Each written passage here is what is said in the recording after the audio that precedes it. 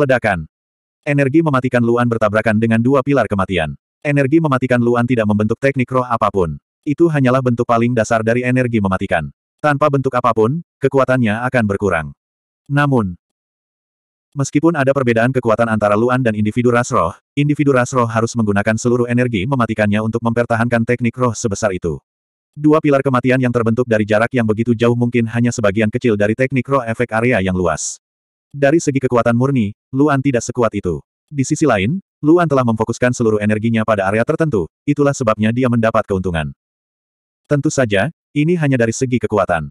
Jika dua pilar kematian ini dapat bertransformasi mengelilingi tubuh Luan, maka pilar kematian lainnya dapat dengan cepat membentuk sangkar di sekeliling tubuh Luan. Selama dua pilar kematian ini dapat menunda Luan, ancaman sebenarnya akan datang kemudian. Namun, sesuatu yang aneh terjadi. Ledakan.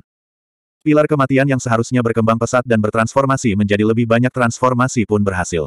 Namun, itu tidak berubah ke arah Luan. Sebaliknya, itu bertransformasi ke seluruh tubuh seni roh. Tubuh individu ras roh bergetar hebat karena dia terkejut mengetahui bahwa dua pilar kematian yang menyerang Luan tiba-tiba kehilangan kendali. Kendalinya telah dilucuti secara paksa, tetapi pilar kematian masih terus berubah. Bagaimana ini bisa terjadi? Satu-satunya penjelasan adalah Luan telah memahami metode untuk mengendalikan teknik roh ini, dan dia melakukannya secara terbalik. Kontrol langsung dan kontrol terbalik adalah dua konsep yang sangat berbeda. Bahkan individu ras roh yang telah menguasai teknik roh ini mungkin tidak tahu cara mengendalikannya secara terbalik, jadi bagaimana Luan bisa tahu cara melakukannya? Dari mana dia mempelajari teknik roh ini? Luan tentu saja belum mempelajarinya sebelumnya. Jika dia harus mempelajarinya, itu adalah saat dia menggunakan energi kegelapannya untuk menyelimuti pilar kematian. Sebenarnya, Luan tidak berencana melakukan ini sejak awal. Sebagian besar teknik, terlepas dari apakah itu teknik surga, teknik rahasia, atau teknik roh, memiliki sumber tetap, yaitu penggunanya sendiri. Kecuali atribut atau kekuatan pengguna ditekan, mustahil untuk menghilangkannya dari kendali pengguna. Dan bahkan jika atribut pengguna ditekan, tidak mungkin untuk mengambilnya dari pengguna. Seperti halnya mata sebuah formasi, sebuah gerakan membutuhkan titik pendukung dan titik awal. Itu tidak bisa diubah sesuka hati. Tapi barusan, Luan telah melihat dengan matanya sendiri bahwa individu ras roh masih mampu mengendalikan teknik roh bahkan setelah terbang ke tepian. Artinya teknik roh ini berbeda dengan teknik biasa. Ia bisa dikendalikan dari mana saja, dan ini membuat Luan ingin mengendalikannya. Karena titik awal dan titik pendukungnya tidak tetap, berarti spirit art ini adalah milik umum. Kenapa dia tidak bisa menggunakannya? Tentu saja, hal ini membutuhkan kemampuan analitis yang sangat kuat. Setelah energi gelap bersentuhan dengan pilar kematian, ia segera menganalisis struktur energi di dalamnya. Ini bukan hanya karena kemampuan analitis Luan dan fakta bahwa dia memiliki kekuatan kematian, tetapi juga karena fakta bahwa Luan telah mempelajari inti dari formasi penyergapan. Dia memiliki pemahaman yang lebih jelas tentang asal-usul banyak kekuatan dan jurus, terutama jurus berskala besar. Hal ini memungkinkan dia untuk langsung memahami struktur internal dan prinsip seni roh dan mengendalikannya. Di bawah kendalinya, pilar kematian tiba-tiba berubah arah. Ujung depannya berhenti, tapi terbelah. Satu pilar kematian membentuk empat pilar kematian, dan total delapan pilar kematian mekar seperti bunga, menghalangi jalur pilar kematian lainnya yang menyerang Luan.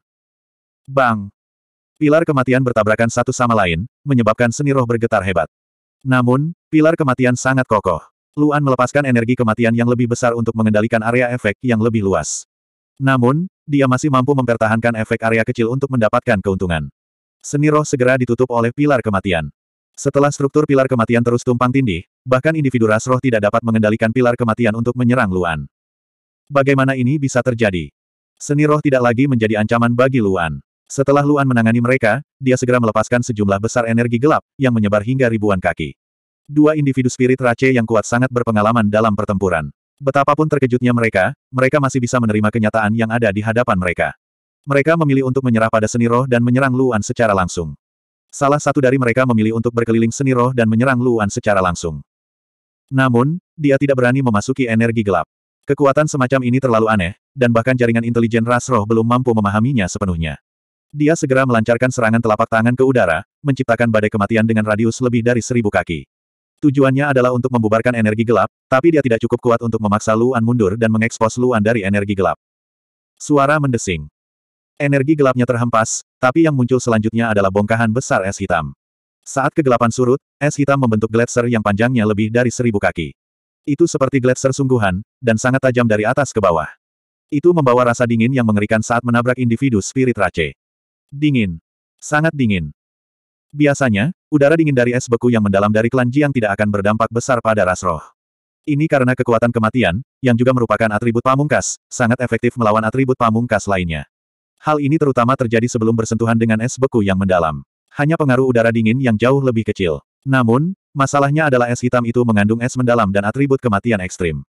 Atribut kematian ekstrim mirip dengan atribut kematian ekstrim individu ras roh, yang sangat mengurangi daya tahan individu ras roh. Hal ini memungkinkan energi dingin es mendalam menembus lebih langsung. Meskipun es hitam itu sangat keras, jauh lebih keras daripada es yang mendalam, itu masih belum cukup untuk mengancam individu ras roh. Kekuatan individu ras roh ini tidak hanya sedikit lebih tinggi dari Luan, tetapi juga dengan selisih yang besar. Hah! Individu spirit Rache meraung saat dia meninju. Dalam sekejap, seberkas darah mengalir ke arah Gletser di depannya. Bum bum bum. Gletser itu meledak dengan keras dan hancur berkeping-keping oleh pancaran darah. Meski begitu, masing-masing bagian berdiameter lebih dari seribu kaki. Mereka masih sangat besar dan terus menyerang individu spirit Rache. Luan telah menghilang. Hati individu spirit Rache menegang ketika dia melihat ini. Dia segera menggunakan seluruh kekuatannya untuk merasakan bongkahan es besar di sekitarnya. Dia tahu bahwa Luan kemungkinan besar bersembunyi di dalam mereka dan bisa menyerangnya kapan saja. Kondisi pikiran individu spirit Rache sangat stabil. Dia tidak terburu-buru menyerang bongkahan es hitam mana pun. Dia tidak ingin menciptakan kelembaman dan memberi Luan kesempatan untuk memanfaatkannya. Namun, bahkan setelah semua bongkahan besar es hitam melewati orang dari ras roh, tidak ada yang terjadi. Tertegun. Individu spirit Rache benar-benar tercengang. Luan tidak muncul dari bongkahan es hitam mana pun, dan masih belum ada tanda-tanda Luan di depannya. Mungkinkah, Luan telah menggunakan atribut gelap untuk berteleportasi lagi? Tidak. Jika Luan ingin berteleportasi, dia bisa melakukannya sejak lama. Dia tidak perlu berjuang untuk menguasai seni roh skala besar, dan dia tidak perlu melepaskan Gletser sebesar itu. Jika itu masalahnya, apa yang Luan coba lakukan? Tiba-tiba, mata individu spirit Rache melebar. Tubuhnya bergetar hebat, dan dia segera berbalik untuk melihat ke belakang. Dia melihat ke belakang pada bongkahan es hitam yang tak terhitung jumlahnya yang bergerak semakin jauh darinya. Mereka bergerak menuju individu spirit Rache yang terluka parah yang datang untuk mendukungnya. Mendesis. Mata individu spirit Rache hampir keluar dari rongganya. Dia segera berteriak pada individu spirit Rache yang terluka parah di kejauhan, lari. Suaranya serak, seolah tenggorokannya akan terkoyak. Namun, itu sudah terlambat. Individu spirit Rache yang terluka parah sudah sangat dekat. Dia bisa dengan jelas melihat bongkahan es hitam, tapi dia secara naluriah berpikir bahwa bongkahan es hitam yang telah dihancurkan oleh rekan-rekannya yang lebih kuat tidak lagi menjadi masalah. Akibatnya, dia sama sekali tidak siap kecuali pakaian berlumuran darah yang muncul kembali di sekitarnya. Suara individu spirit Rache tidak bisa lagi terdengar secepat bongkahan es hitam. Di antara bongkahan es hitam yang terbang dalam garis lurus, salah satunya tiba-tiba berubah arah dan menabrak individu spirit Rache yang terluka parah pada jarak yang sangat dekat. Individu spirit Rache yang terluka parah sama sekali tidak siap. Ia bahkan tidak sempat bereaksi karena jaraknya terlalu dekat. Setelah terluka parah dua kali, kekuatannya hampir sama dengan Luan. Begitu dia terluka, kekuatannya akan berkurang lebih cepat. Menghadapi es hitam yang masuk dan udara dingin yang menakutkan, dia hanya bisa buru-buru melontarkan pukulan. Dia tidak dapat menggunakan teknik spiritual apa pun. Dia buru-buru menggunakan pakaiannya yang berlumuran darah dan kekuatan fisiknya untuk menghancurkan bongkahan es itu. Namun, karena kekuatan mereka sama, dia hanya bisa memecah bongkahan es hitam menjadi tiga bongkahan. Selain itu, dampak dan kelembamannya sangat besar. Saat bongkahan es hitam itu meledak, sosok Luan langsung muncul. Dia bahkan tidak mengaktifkan Realm of the Demon Gods secara maksimal. Sebaliknya, dia menggunakan keadaan normalnya dan melayangkan pukulan tepat ke wajah individu spirit Rache. Individu spirit Rache baru saja melancarkan pukulan. Karena kelembaman yang sangat besar, wajahnya terbuka lebar. Dia tidak punya cara untuk membela diri. Ledakan. Langit menjadi gelap. Hanya seberkas cahaya merah yang menerpa wajah individu spirit Rache. Itu seperti cahaya fajar. 3542. Jika mereka berada di level yang sama, jubah darah saja tidak akan mampu menahan pukulan langsung dari Kaisar Naga Tulang dan Fajar. Di alam yang sama, Luan belum menemukan orang yang bisa menggunakan satu titik ledakan pun yang lebih kuat dari Fajar. Tidak peduli apakah itu empat suku besar, klan Hachiko, atau suku roh, tidak satupun dari mereka memiliki ledakan yang lebih kuat dari Fajar. Ledakan. Jubah darah meledak, tapi kekuatan Fajar masih lebih dari setengahnya. Itu mendarat dengan keras di wajah anggota suku roh. Dua ledakan sebelumnya telah merusak tulang dan organ anggota suku roh. Kali ini, pukulan Luan mendarat di wajah anggota suku roh itu. Daging dan darah di permukaan wajah anggota suku roh terhempas, dan tulangnya hancur. Meski tidak sekuat saat Fajar menggunakan alam dewa iblis secara maksimal, masih banyak retakan dan patah tulang. Tulang yang patah itu seperti pisau tajam yang menembus organ anggota suku roh. Api suci juga mengalir ke kepala anggota suku roh dan menelan kepala anggota suku roh. Ledakan.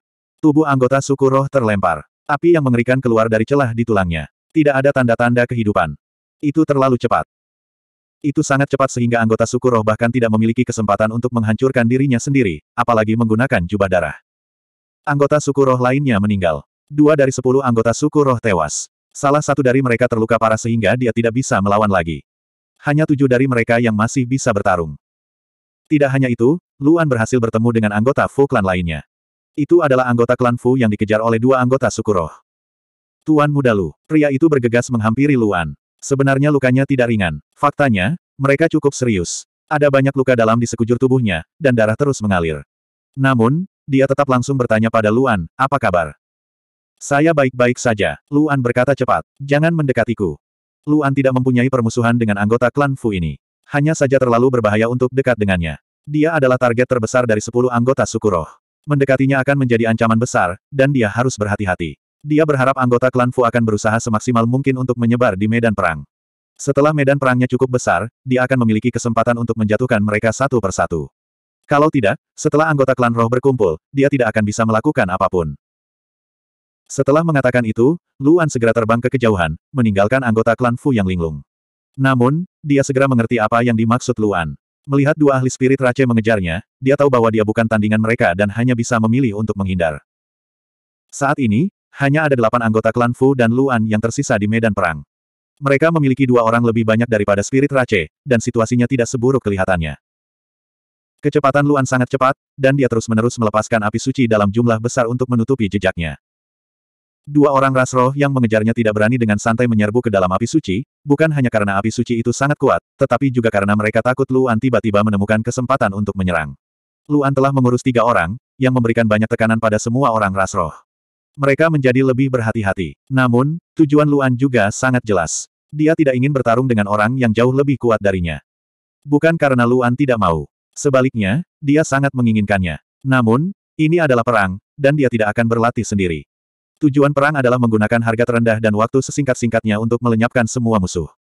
Jika dia bertarung dengan musuh yang jauh lebih kuat darinya, dia mungkin akan membunuh satu atau dua orang, tetapi anggota klan Fu juga akan mati satu persatu. Dalam pertempuran dua bulan lalu, Luan baru bertarung langsung setelah ketujuh anggota klan Fu tewas.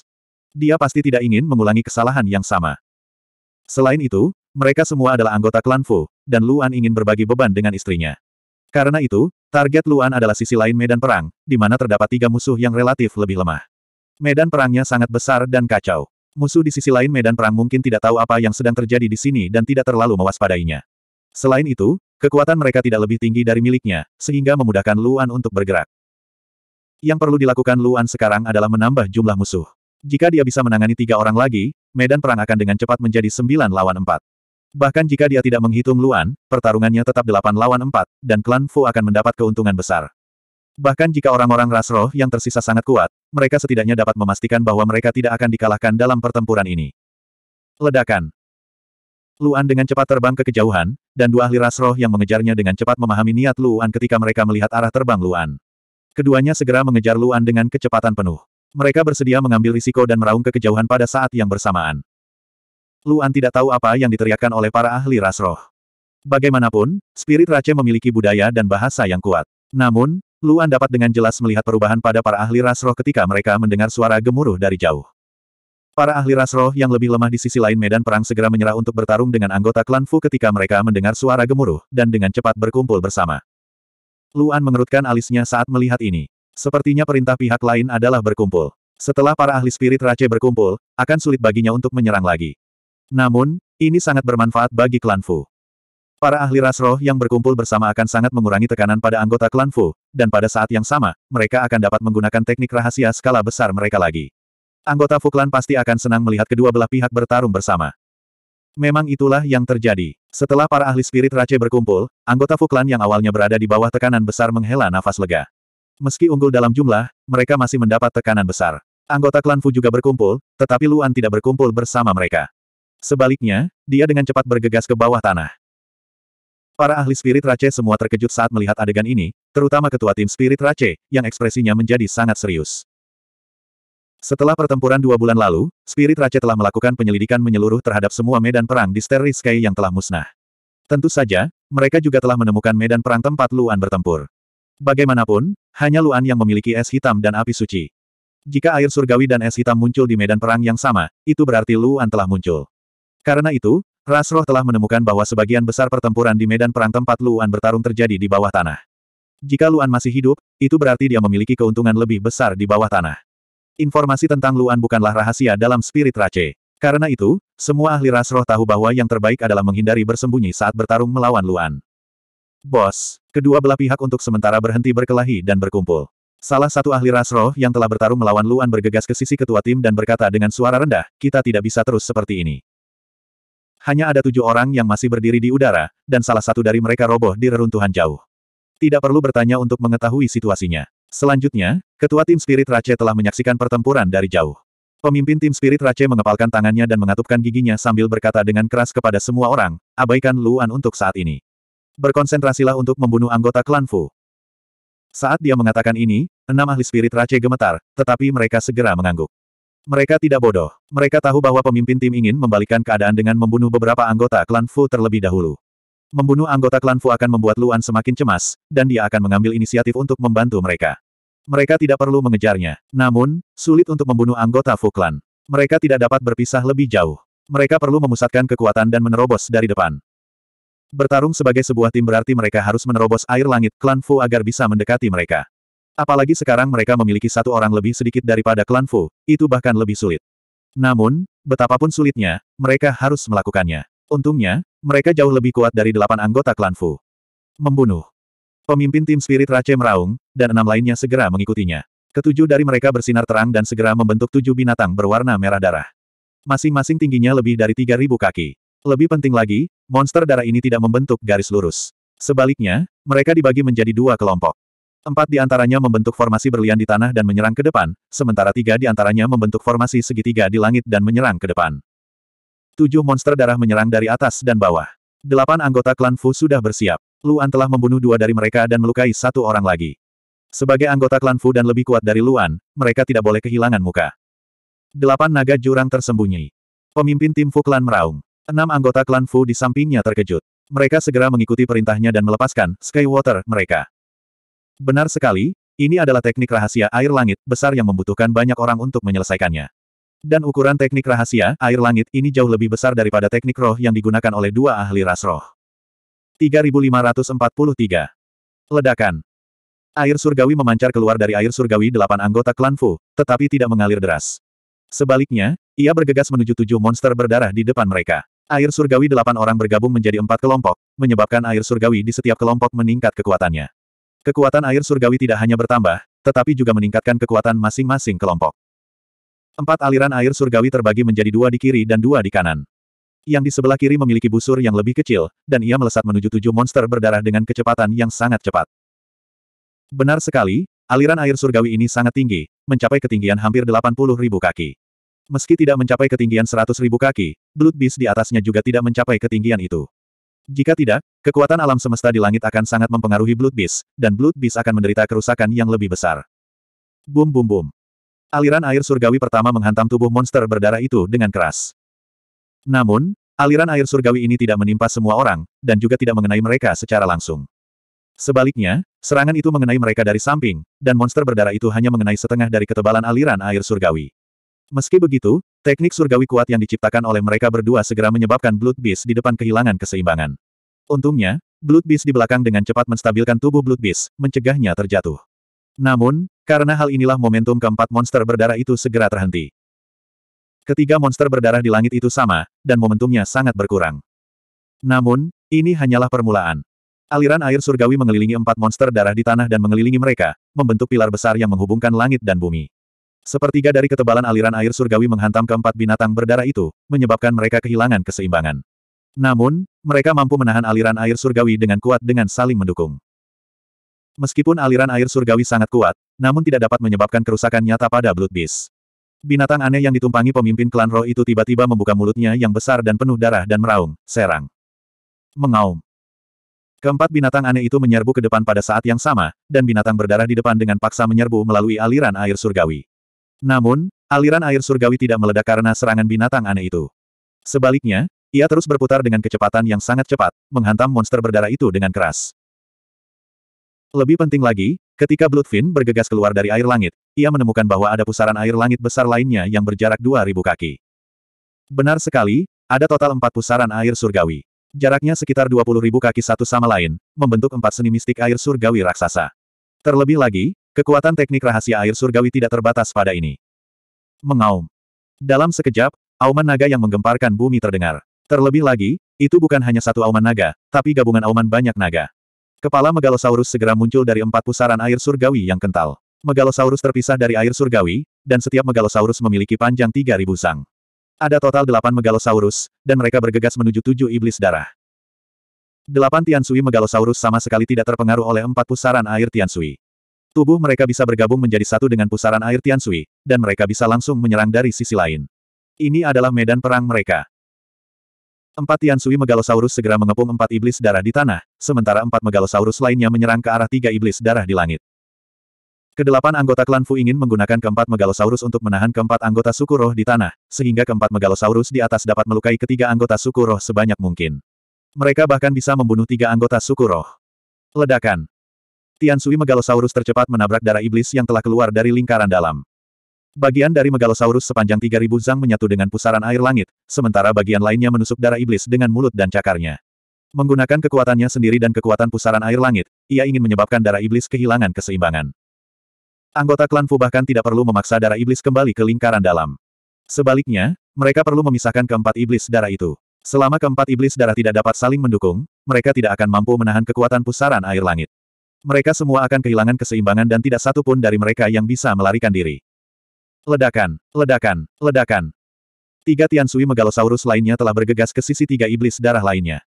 Ketiga iblis darah ini tidak melebihi lingkaran dalam air langit, dan bagian depan dari ketiga Megalosaurus telah memasuki lingkaran dalam. Menggunakan titik buta dan titik kritis keseimbangan dari tiga iblis darah, dukungan dari empat iblis darah menjadi sangat lemah. Mereka menjadi sangat tidak stabil dan dapat dipisahkan sepenuhnya kapan saja. Kekuatan pusaran air langit dan empat Megalosaurus menyebabkan keempat iblis darah itu bergetar hebat. Semakin sulit untuk menolaknya. Cakar keempat iblis darah telah menusuk tubuh iblis darah lainnya, tapi mereka masih tidak bisa menahannya. Akhirnya, ledakan. Keempat iblis darah semuanya dilepaskan dan dukungan timbal balik mereka segera runtuh. Pada saat runtuh, keempat iblis darah itu langsung tersapu oleh pusaran air langit. Selanjutnya, di bawah tarikan Tiansui Megalosaurus, dua iblis darah diseret keluar dari lingkaran dalam dan masuk ke celah di lingkaran lain untuk dikendalikan oleh air langit. Di atas pusaran air langit, tiga iblis darah di udara bahkan lebih sulit untuk dilawan. Bukan hanya jumlah mereka yang lebih sedikit, tapi yang lebih penting, iblis darah langit pada dasarnya adalah binatang terbang. Mereka semua memiliki sayap, dan begitu mereka melebarkan sayapnya, mereka akan mudah terpengaruh oleh pusaran air langit. Selain itu, tidak ada alasan untuk mendukung mereka. Ketiga iblis darah itu bahkan tidak bisa saling mendukung dan langsung tersapu. Tiga dari Tiansui Megalosaurus langsung menyerang salah satu iblis darah. Ketiga naga itu mengepung iblis darah, mulut dan cakar depan mereka mencengkeram tubuh iblis darah dan menggunakan kekuatan pusaran air langit untuk mencabik-cabiknya. Mengaum. Iblis darah itu segera mengeluarkan tangisan yang menyakitkan. Anggota suku roh di dalam iblis darah mencoba yang terbaik untuk mempertahankannya. Jika tidak, begitu iblis darah itu roboh, dia akan langsung terkena teknik rahasia air langit. Pada saat itu, tanpa perlindungan teknik kematian yang begitu kuat, dia tidak akan tahu apa yang akan terjadi. Namun, karena itu, energi di tubuhnya menjadi semakin terhubung erat dengan darah iblis. Luka iblis darah juga sangat mempengaruhi energi dan darah di tubuhnya. Dia berada dalam kondisi menahan diri dan tidak bisa mundur. Namun, kekuatannya paling rendah di antara ketujuh orang itu. Pusaran air langit dan Megalosaurus adalah kekuatan yang tidak bisa dia tolak sama sekali. Dalam waktu yang sangat singkat, tubuh iblis darah itu digigit dan dicabik-cabik di tempat. Mengaum. Ceritan kesakitan lainnya, sayap iblis darah itu dirobek dengan paksa oleh kedua Megalosaurus. Energi kematian berwarna darah melonjak dengan liar. Leher iblis darah itu digigit oleh Megalosaurus lainnya, menyebabkannya tidak bisa bergerak. Kedua Megalosaurus yang telah menggigit sayapnya menyerang lagi, menggigit dan menyambar tubuh iblis darah itu. Di saat yang sama, ketiga Megalosaurus mengerahkan kekuatan mereka bersama-sama. Bum bum bum. Iblis darah itu segera meledak. Adegan itu bahkan lebih tragis daripada dicabik-cabik oleh lima ekor kuda. Energi kematian berwarna darah memercik dengan liar di dalam pusaran air langit, menyebabkan sejumlah dampak pada pusaran air langit. Anggota suku roh yang terekspos setelah ledakan iblis darah itu memuntahkan seteguk darah. Namun, karena dia berada di antara lingkaran dalam dan lingkaran kedua, dia tidak ditelan pusaran air langit. Jarak antara dua pusaran air memberinya banyak ruang untuk bergerak. Dia segera bergerak ke arah iblis darah rekan satu timnya, ingin bertemu dengan mereka sesegera mungkin. Namun, ketiga Megalosaurus tidak membiarkan dia melakukan apa yang dia inginkan. Megalosaurus yang panjangnya 3000 kaki segera menyerang anggota suku roh. Namun Megalosaurus terlalu besar dan tidak bergerak terlalu cepat. Kecepatan gerakan mereka hanya sedikit lebih cepat dari anggota suku roh. Anggota suku roh menggunakan seluruh kekuatannya untuk menghentikan ketiga megalosaurus saat dia berlari. Dia terbang dengan cepat di antara pusaran air dan melihat bahwa dia semakin dekat dengan iblis darah rekan satu timnya. Meskipun anggota suku roh tidak tahu apa yang akan terjadi jika dia lebih dekat dengan rekan satu timnya, lebih baik tetap bersama daripada berpisah. Memang benar demikian. Di bawah perlindungan iblis darah rekan satu timnya, anggota suku roh akan memiliki cukup waktu untuk membentuk mantra skala besar yang lebih kuat. Namun, segalanya tidak berjalan sesuai keinginannya. Suara mendesing. Sesosok menukik turun dari ketinggian yang lebih tinggi dan memasuki pusaran air langit. Dia menyerang dengan kecepatan penuh menuju jalur anggota suku roh, jelas berniat menghentikannya. Itu tidak lain adalah delapan anggota Fuklan, Luan. 3544. Kekuatannya tidak membedakan antara teman dan musuh, dan ketika Luan terbang lebih dari 80 ribu kaki ke dalam pusaran air surgawi, dia segera dirasakan oleh delapan anggota klan Fu yang mengendalikan jurang delapan naga, dan mereka semua terkejut. Mereka sangat khawatir kekuatan mereka akan merugikan Luan. Bahkan tujuh anggota Fu klan lainnya segera menoleh untuk melihat pemimpin mereka. Pemimpin klan Fu mengerutkan kening. Karena Luan berani memasuki teknik rahasia, itu berarti dia percaya diri. Selama pertarungan, dia hanya bisa memilih untuk mempercayai rekan satu timnya dan tidak meragukan mereka. Jika dia memiliki terlalu banyak keraguan, pertempuran tidak akan bisa dilanjutkan. Bertarunglah seperti biasa. Pemimpin klan Fu berteriak, bertarunglah seperti biasa, jangan terpengaruh. Kata-kata pemimpin itu meyakinkan mereka bertujuh dan mereka segera menyerang tanpa ragu-ragu. Dalam teknik rahasia Heavenly Aqua, tiga megalosaurus surgawi meraung dan menyerang anggota klan roh.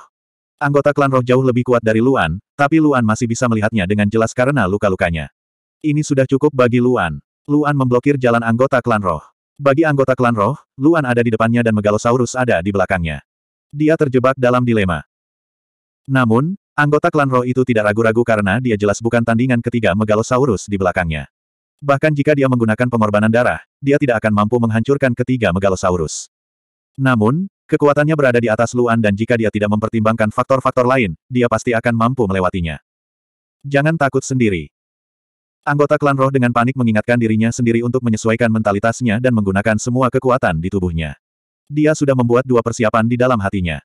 Salah satunya adalah menyerang melewati mereka secara langsung, dan yang lainnya adalah mencoba yang terbaik untuk meraih Luan bahkan jika dia tidak melewati mereka secara langsung. Dengan cara ini, selama dia berada dekat dengan Luan, ketiga Megalosaurus pasti tidak akan berani menyerangnya. Dan, jika dia tampil lebih baik dan mampu melemparkan Luan ke arah salah satu Megalosaurus, dampak dari Megalosaurus mungkin dapat melukai Luan dengan parah. Suara mendesing. Luan telah mencapai jalur astral. Dia hanya berjarak 40 ribu kaki dari mereka. Luan tentu saja tidak tahu apa yang dipikirkan oleh individu ras roh.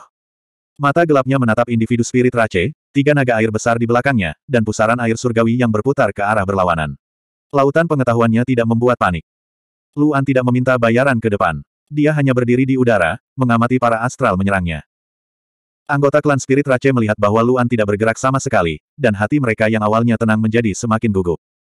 Tidak bergerak lebih menakutkan daripada menggunakan kekuatannya, tetapi individu spirit Rache tidak memiliki mentalitas untuk membiarkan dirinya tidak melakukan apa pun. 40 ribu kaki sudah sangat dekat. Dia segera menyerang dengan telapak tangannya, dan sepuluh sinar darah keluar, membentuk lingkaran yang berputar cepat di tengah lingkaran menuju Luan. Setiap berkas darah hanya berdiameter 10 meter, dan tidak terlalu kuat. Tentu saja, itu juga tidak cepat. Ini karena semakin kuat teknik roh, semakin besar kelembamannya, dan semakin besar kelembamannya, kecepatan ras roh akan semakin berkurang. Ini adalah sesuatu yang dia benar-benar tidak bisa terima. Tapi karena itu, sepuluh sinar darah ini tidak menimbulkan ancaman bagi Luan. Luan bahkan tidak perlu menghadapinya secara langsung. Dengan sedikit gerakan, dia melewati sepuluh sinar darah.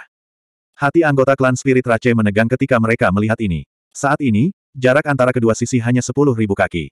Pada jarak ini, anggota klan Spirit Rache memutuskan untuk tidak menggunakan kekuatannya sampai Luan berada tepat di depannya untuk memberikan pukulan fatal.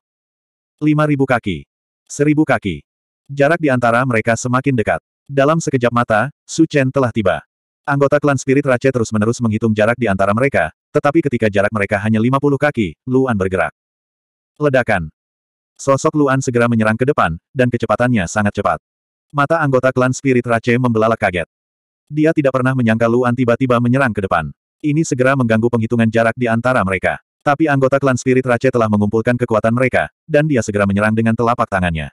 Dalam situasi di mana kecepatannya tidak terpengaruh, Cara terbaik untuk menghadapi Su Chen adalah dengan menyerang dari jarak 10 kaki. Selama dia bisa memaksa Luan menyingkir, dia akan bisa menyerang ke depan, dan Luan akan langsung terkena tiga Megalosaurus di belakangnya. Di belakang klan Spirit Rache ada kepala naga raksasa. Meskipun Luan menyerang klan Spirit Rache, dia juga menyerang Megalosaurus atas kemauannya sendiri. Tapi Luan tidak panik. Serangan lawannya bukanlah serangan area of effect, melainkan beberapa sinar energi kematian. Bagaimanapun, itulah satu-satunya cara untuk membuatnya kehilangan keseimbangan. Jika tidak, serangan area of effect hanya akan mendorong Luan mundur. Tapi ini juga memberi Luan kesempatan untuk menggunakan teknik gerakannya. Sosoknya melintas melewati sinar darah, dan dia bahkan menginjak sisi dan belakang sinar tersebut untuk meminjam momentum. Ini karena Luan tahu sinar darah tidak akan meledak. Jika tidak, kemajuan klan Spirit Rache akan terhambat. Suara mendesing. 20 kaki. 10 kaki. Keduanya sudah sangat dekat satu sama lain. Melihat Luan melompat maju di tengah semua serangan, anggota klan Spirit Rache merasa lebih tertekan. Keduanya sangat cepat. Hanya 10 kaki saja tidak cukup bagi mereka untuk menggunakan teknik roh yang kuat. Bagi keduanya, mereka hanya bisa memilih bertarung dalam jarak dekat. Namun kenyataannya, klan Spirit Rache memiliki keuntungan. Bagaimanapun juga, dia menyerang ke depan, sementara Luan menyerang Megalosaurus yang mengaum.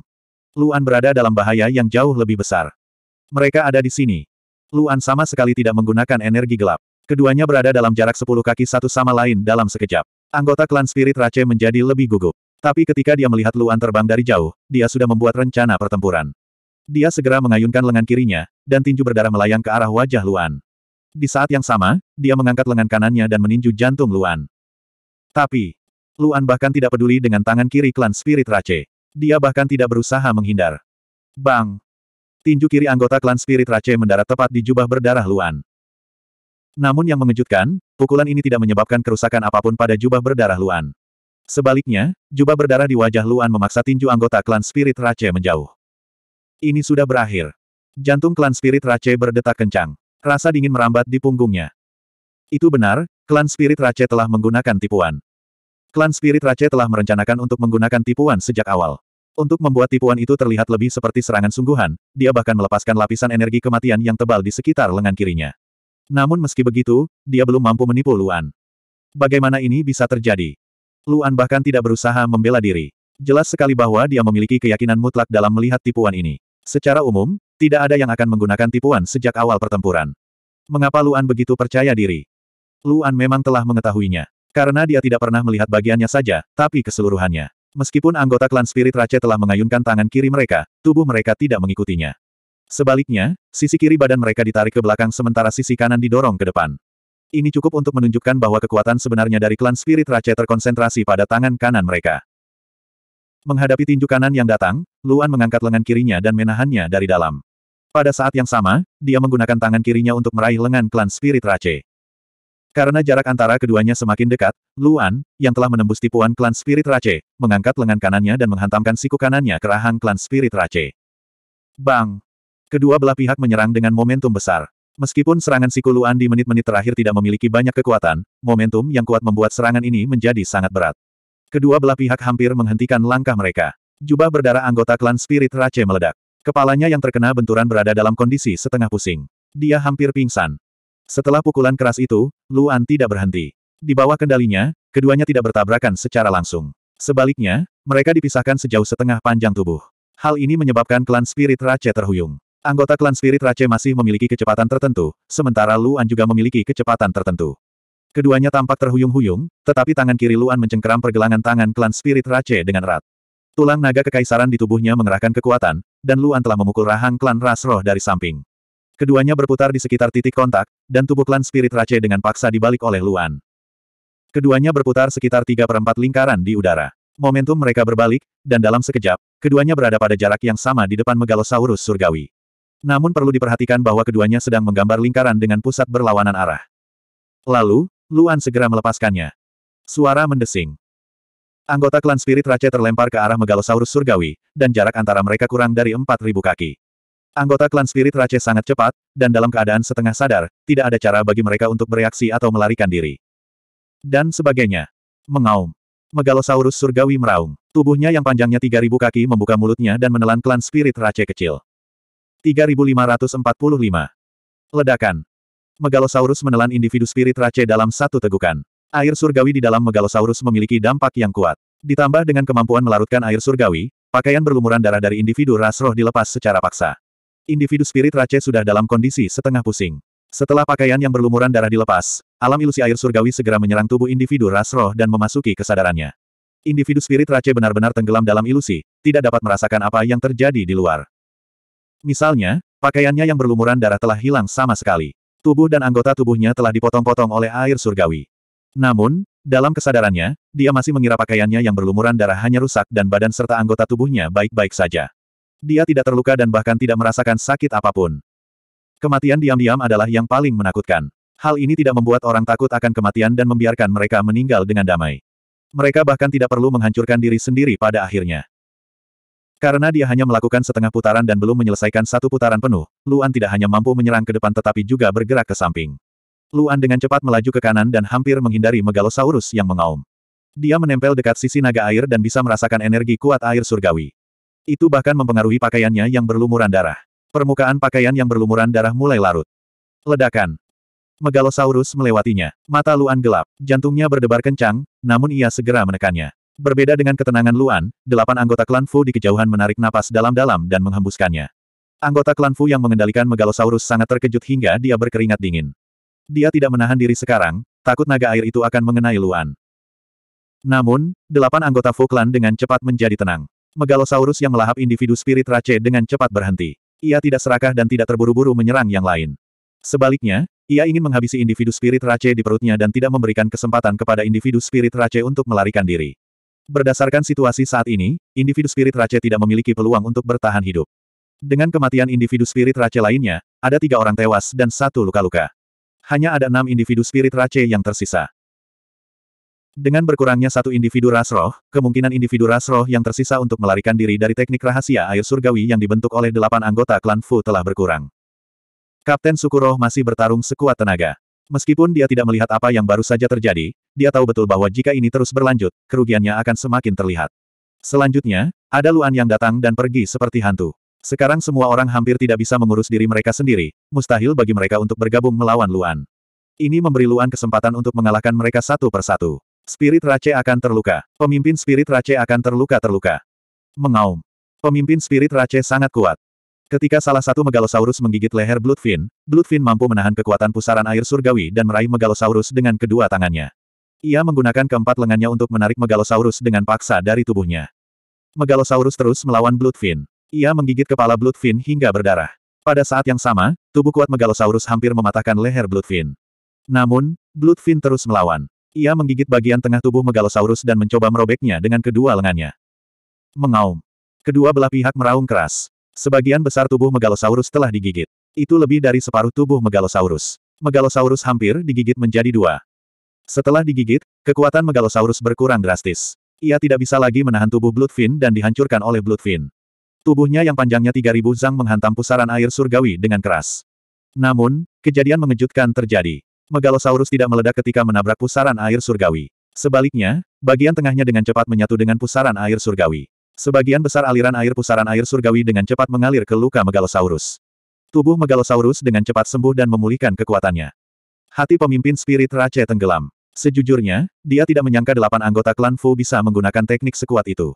Teknik rahasia air surgawi akan menghabiskan banyak energi dari anggota klan Fu. Mereka tidak akan bisa mempertahankannya dalam waktu lama. Namun, masalahnya adalah mereka tidak akan bisa bertahan lama dalam teknik rahasia air surgawi. Jika terlalu banyak dari mereka yang mati, bahkan jika anggota spirit Rache berhasil bertahan, mereka tidak akan bisa menandingi klan Fu. Mereka harus memecah kebuntuan. Pemimpin spirit Rache mengerutkan alisnya. Karena dia adalah pemimpin, dia tentu saja harus memikul tanggung jawab sebagai seorang pemimpin. Dalam situasi saat ini, tidak ada cara baginya untuk memberitahu rekan satu timnya yang lain. Dia yang terkuat di antara mereka. Dialah satu-satunya yang bisa memecah kebuntuan. Ah! Pemimpin spirit Rache meraung dengan marah. Bloodfin di sekelilingnya memancarkan cahaya yang lebih menyilaukan. Bloodfin tidak peduli dengan hal lain. Ia tidak peduli apakah ia bisa bertahan. Itu dengan paksa keluar dari lingkaran dalam pusaran air. Sebelum Megalosaurus air surgawi dapat pulih sepenuhnya, ia menyerang pusaran air surgawi kedua. Ledakan. Tubuh besar Bloodfin bertabrakan dengan pusaran air surgawi. Pusaran air surgawi tebalnya sekitar 2000 sang. Kepala dan bahu Bloodfin nyaris tidak bisa keluar. Namun, kecepatan putaran pusaran air dengan paksa menghancurkan momentum Bloodfin. Yang lebih parahnya adalah kedua pusaran air itu berputar ke arah yang berbeda. Hal ini membuat momentum Bloodfin semakin tidak stabil. Namun, ini sudah cukup bagi pemimpin Spirit Rache. Dia dengan cepat sampai di kepala Bloodfin. Kemudian, dia keluar dari kepala Bloodfin dan memutuskan hubungannya dengan itu. Ledakan. Tanpa pasokan energi terus-menerus dari pemimpin ras roh, iblis darah tidak akan mampu menahannya. Itu langsung terkoyak oleh pusaran air dan megalosaurus air surgawi. Namun, sosok pemimpin spirit Rache tidak berhenti. Dia menyerbu menuju pusaran air surgawi ketiga. Mengaum. Megalosaurus air surgawi segera keluar dari pusaran air surgawi kedua dan menyerang pemimpin ras roh. Namun, pemimpin spirit Rache telah mencapai pusaran air surgawi ketiga. Cahaya menyilaukan muncul dari tubuhnya. Setelah mengisi daya dan mempercepat hampir 2000 zang, energi kematian di sekitarnya seperti pisau. Energi kematian di sekelilingnya seperti pedang datar. Lebarnya 1000 zang tetapi tebalnya kurang dari dua zang. Itu menembus langsung ke pusaran air surgawi. Pada saat yang sama, itu melindunginya dan meminimalkan dampak pusaran air surgawi.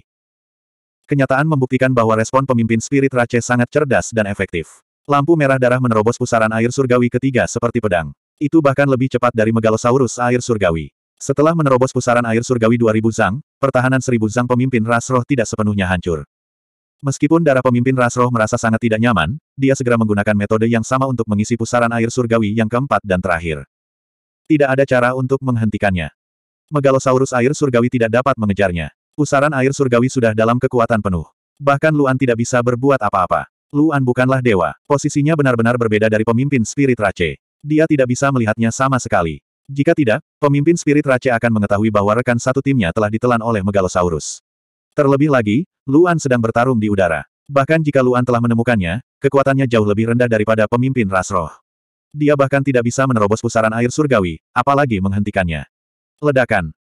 Pemimpin spirit Rache menyerbu ke dalam pusaran air surgawi keempat dengan sekuat tenaga. Dua orang yang mengendalikan pusaran air surgawi terluar sebenarnya adalah yang paling lemah. Alasannya sederhana. Delapan anggota klan Fu ingin menjaga anggota ras roh tetap berada di lingkaran dalam. Oleh karena itu, lingkaran dalam dikendalikan oleh orang terkuat. Bahkan pusaran air surgawi ketiga tidak dapat menghentikan pemimpin ras roh. Meskipun dua anggota klan Fu yang mengendalikan lingkaran terluar mencoba yang terbaik untuk menghentikan pemimpin ras roh, hasilnya tetap sama. Bagaimanapun, pusaran air surgawi adalah teknik rahasia raksasa. Itu adalah serangan area of effect. Meskipun kedua anggota klan Fu dapat bekerja sama untuk menutupi kekurangan kekuatan, itu masih tidak sebanding dengan kekuatan penuh pemimpin ras roh.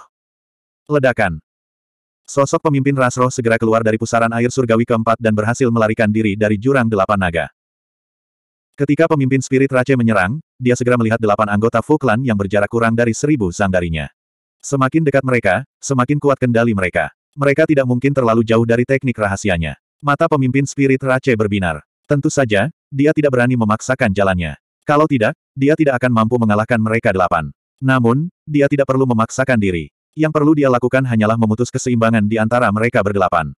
Delapan anggota klan Fu berkumpul. Teknik rahasia raksasa seperti itu perlu dirilis pada saat yang bersamaan. Yang perlu dia lakukan hanyalah menghancurkannya dan teknik rahasia raksasa itu secara alami akan hancur. Oleh karena itu, pemimpin spirit Rache meraung dengan marah. Dia menyalurkan semua kekuatan di tubuhnya dan meninju delapan anggota klan Fu dari jarak seribu sang. Ledakan.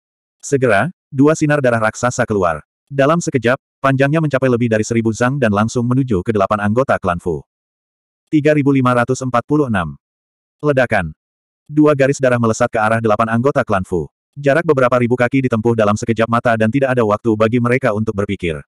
Karena jurang delapan naga menghabiskan banyak energi dan tekanan dari ras roh terlalu besar, setiap anggota klan Fu harus mengerahkan seluruh kemampuannya. Dalam keadaan normal, mereka berdelapan tidak akan takut dengan serangan seperti itu. Tapi sekarang, seluruh energi mereka terfokus pada jurang delapan naga dan mereka tidak dapat mengalihkan energinya untuk memblokir serangan tersebut.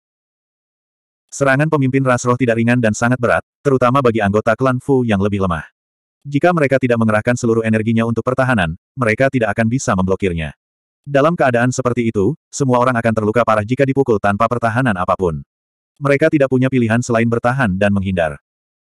Namun, saat semua orang hendak menghindar, pemimpin klan Fu tiba-tiba berteriak, lanjutkan pertahankan. Setelah mengatakan itu, pemimpin klan Fu dengan paksa menahan kelembaman dan menarik kembali energinya.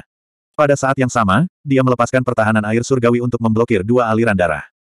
Uh! Bum bum bum. Hanya kelembaman saja yang menyebabkan pemimpin klan Fu memuntahkan seteguk darah. Setelah tabrakan, pemimpin klan Fu memuntahkan seteguk darah lagi. Namun, pemimpin klan Fu tidak berhenti karena luka dalam yang dideritanya.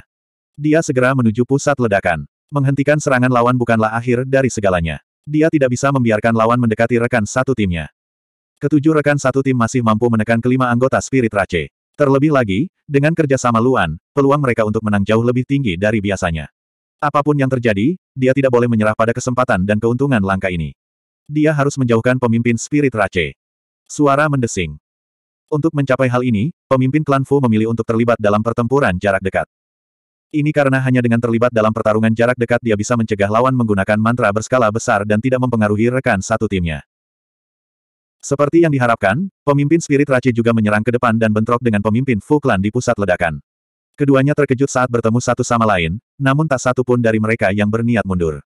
Pemimpin Spirit Rache melihat lawannya menyerang ke arahnya. Klan Fu bukanlah ras yang berspesialisasi dalam pertarungan jarak dekat. Karena lawannya memilih untuk terlibat dalam pertarungan jarak dekat, dia akan memberitahu lawannya seperti apa ahli pertarungan jarak dekat yang sebenarnya. Ledakan. Jubah darah bersinar terang, dan aura Kapten Klan Roh melonjak. Kecepatan pukulannya begitu cepat hingga menjadi kabur di mata Kapten Klan Fu. Kapten Klan Fu segera mengangkat tangannya untuk memblokir serangan itu.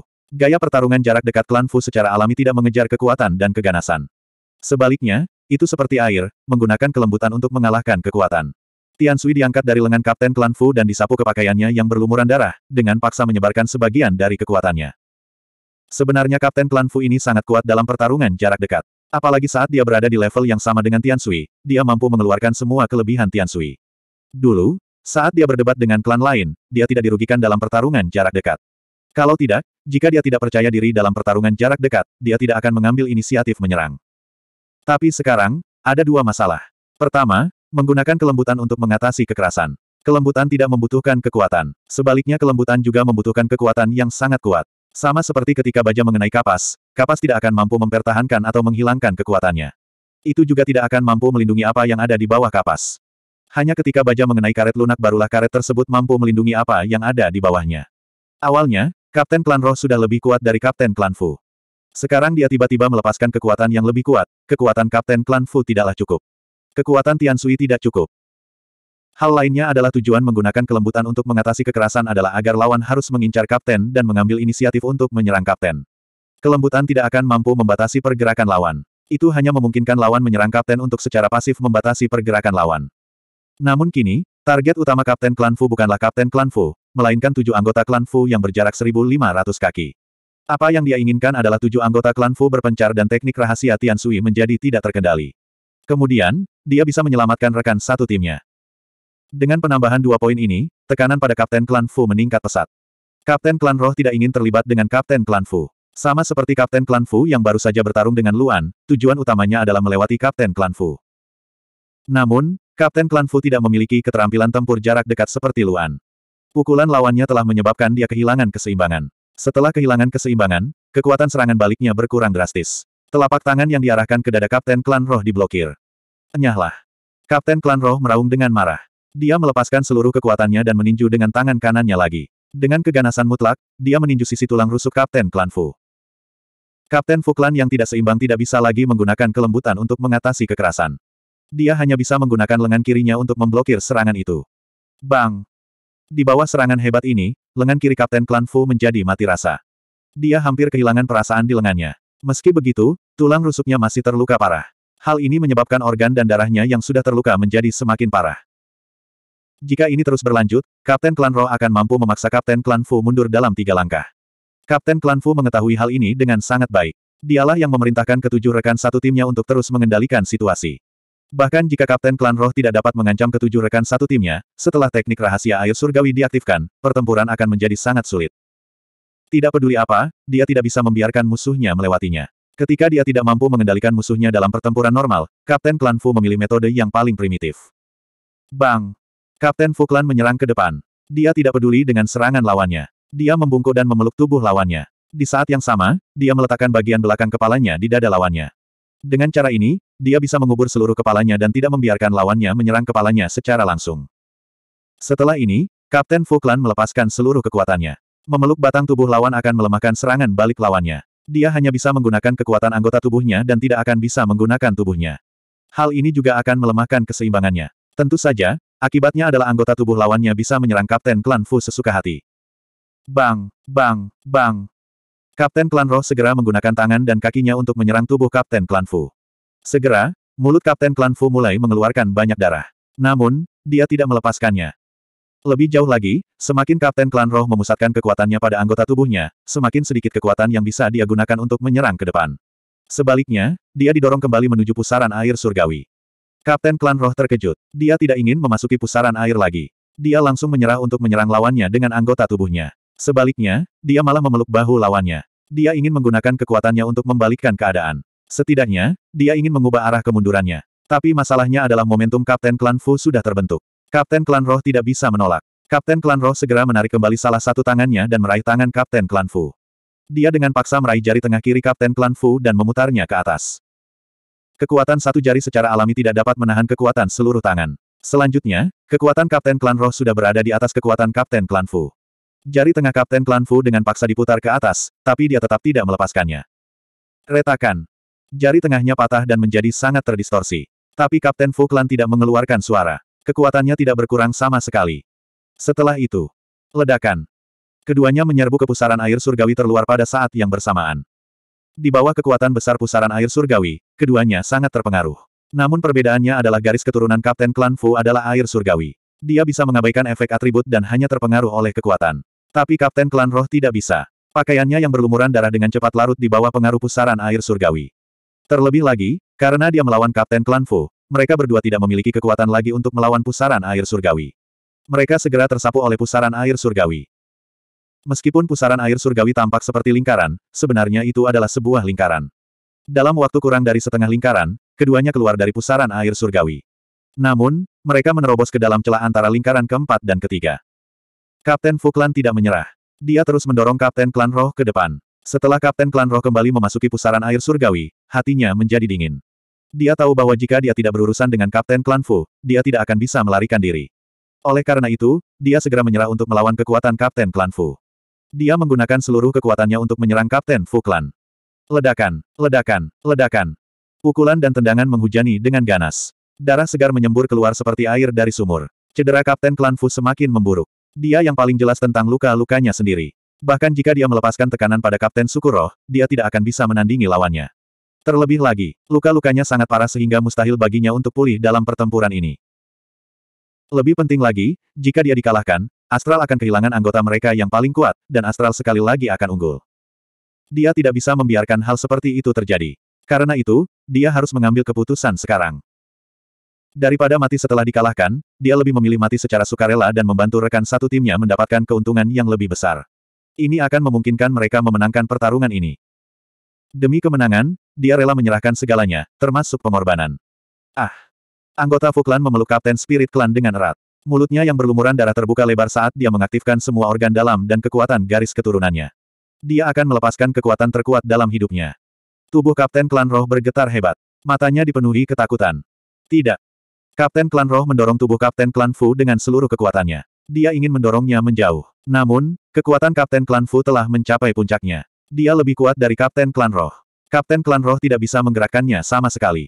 Setelah itu, ledakan. Tubuh Kapten Fu Klan meledak. Dia meninggal di tempat. 3547. Gemuruh. Ledakan Kapten Klan Fu sangat dahsyat. Dalam sekejap, dua pusaran air di kedua sisi ring meledak akibat ledakan tersebut. Bahkan jika setiap pusaran air surgawi dikendalikan oleh dua anggota klan Fu, kekuatan Kapten klan Fu jauh lebih kuat. Ledakan itu melepaskan seluruh kekuatan sekaligus, dan bahkan jika keduanya bekerja sama, pusaran air surgawi masih akan meledak. Tidak hanya itu, ledakannya terus berlanjut dan sangat dahsyat. Itu menyebar dengan cepat menuju pusaran air kedua dan tujuh anggota klan Fu. Menghadapi situasi yang tiba-tiba ini, ketujuh anggota klan Fu sangat terkejut. Ledakan dua pusaran air telah menyebabkan darah keempat anggota klan Fu bergolak hebat. Jelas sekali mereka menderita luka dalam. Namun, keempat anggota klan Fu segera mengambil tindakan dan membentuk penghalang pertahanan besar di depan mereka bertujuh, melindungi mereka. Karena kemunculan Kapten Klan Fu, kekuatan cincin bagian dalam berkurang setengahnya. Hal ini memungkinkan keempat monster darah berpindah dari cincin bagian dalam ke celah antara cincin bagian dalam dan cincin kedua. Selanjutnya, mereka dengan cepat bergegas ke pusaran air kedua. Beberapa monster darah bahkan telah menembus setengah dari tubuh mereka. Justru karena inilah setelah pusaran air surgawi yang ketiga meledak, kekuatan ledakan yang sangat besar dikombinasikan dengan kekuatan ledakan pusaran air surgawi menghantam para iblis darah. Para iblis darah telah menggunakan seluruh kekuatan mereka melawan pusaran air surgawi dan naga, jadi mereka tidak mampu melawan kekuatan ledakan dan langsung terkena pukulan keras. Ledakan. Dua monster berdarah yang menanggung beban ledakan segera meledak. Pusaran air kedua juga menjadi tidak stabil dan meledak tak terkendali. Hanya sampai pusaran air kedua meledak barulah ledakannya berhenti. Namun, pusaran air di ring bagian dalam juga langsung meledak. Bukan hanya karena salah satu anggota klan Fu tidak dapat menahan ledakan tersebut, tetapi juga karena pusaran air di lingkar luar juga telah meledak. Ini benar-benar memutus hubungannya dengan pusaran air di ring bagian dalam. Ledakan Kapten Klan Fu telah menghancurkan jurang delapan naga sepenuhnya. Mayat delapan Megalosaurus juga meledak. Dengan ledakan besar dan kehancuran teknik rahasia air surgawi, berat ledakannya saja tidak dapat diukur. Khusus untuk tiga Blood Beast di bawah, menyebabkan dua di antaranya meledak di tempat. Darah iblis di tanah dan dua darah iblis di langit selamat, tapi mereka juga rusak parah. Untungnya, Luan masih berada di medan perang dataran tinggi, antara lingkaran dalam dan lingkaran kedua. Kekuatan ledakan diri telah diblokir sepenuhnya. Kehancuran pusaran air surgawi turun dari langit dan dia punya cukup waktu untuk bereaksi. Dia segera menyerah untuk bertarung dengan iblis darah dan terbang ke atas dengan kecepatan penuh untuk menghindari ledakan air surgawi. Gemuruh. Mengaum. Mengaum. Suara ledakan air surgawi, suara ledakan Blood Beast, dan auman Blood Beast semuanya menyatu, menyebabkan langit menjadi gelap. Tanah tak terbatas di sekitarnya hancur, dan ledakannya meledak lebih dari 50 ribu kaki jauhnya, dan masih terus meluas. Seluruh planet juga bergetar akibat ledakan yang terus-menerus, menyebabkan penyimpangan yang jelas pada orbitnya. Permukaan seluruh planet jelas terkena dampaknya. Pegunungan besar yang tak terhitung jumlahnya runtuh, dan retakan yang tak terhitung jumlahnya muncul di permukaan bumi. Akibatnya gunung berapi yang tak terhitung jumlahnya meletus, dan tsunami muncul di lautan. Bagi makhluk hidup di planet ini, bencana tiba-tiba menimpa. Namun, pertempuran tidak berhenti. Tujuh anggota klan Fu terpaksa mundur jauh karena ledakan tersebut. Namun, ini adalah tempat perlindungan, dan ketujuh dari mereka tidak mengalami banyak kerusakan akibat ledakan tersebut. Mereka hanya menderita luka dalam akibat kehancuran jurang delapan naga. Meskipun empat pusaran air surgawi dikendalikan oleh empat kelompok berbeda, setiap orang memiliki indera jurang delapan naga, jadi mereka sangat jelas tentang sumber ledakannya. Pemimpinnya meledak sendiri. Ledakan diri tidak berhenti, dan tidak ada keraguan bahwa dia akan mati. Bahkan tulangnya pun tidak akan tertinggal. Tekanan kematian yang berat muncul di hati setiap anggota klan Fu, dan mereka tidak bisa mengucapkan sepatah kata pun. Mereka hanya bisa mengatupkan gigi dan menegangkan tubuh.